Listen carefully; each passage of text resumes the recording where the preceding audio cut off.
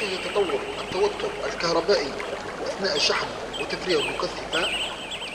نستعمل جهاز راسم الاهتزاز المهبطي. ذو المدخلين إجراج واحد إجراج اثنين. لدينا هنا الحساسية الشغولية. قاعدة زمن تمثل الحساسية الأفقية.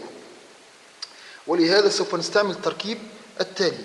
مولد التوترات المنخفضة جيبياب ذو إشارة مربعة مربوط على التسلسل مع قاطعة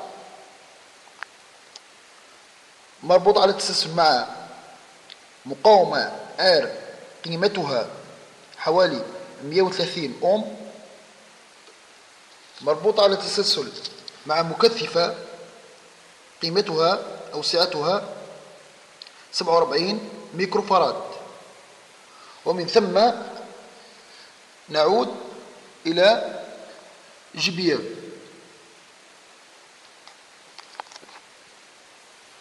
أه، ولمشاهدة تطور التوتر الكهربائي بين طرفي المكثفة نربط راسم الاهتزاز المهبطي مدخل إجرق واحد بين طرفي المكثفة.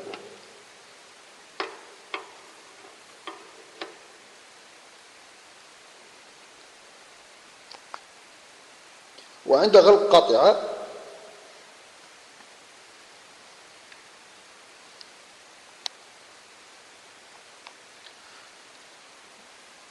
سوف نلاحظ ظهور هذا البيان.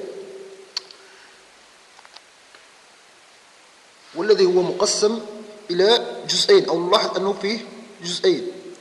الجزء الأول أثناء شحن المكثفة الجزء الثاني أثناء تفريغ المكثفة. الجزء الأول نستطيع تقسيمه إلى مرحلتين. مرحلة يكون تزايد هنا ثم ثبوت. مرحلة التزايد نسميها النظام انتقالي ولدينا نظام دائم عند ثبوت توتر. أما في مرحلة التفريغ كذلك نستطيع تقسيمه إلى مرحلتين. نظام انتقالي ثم نظام دائم.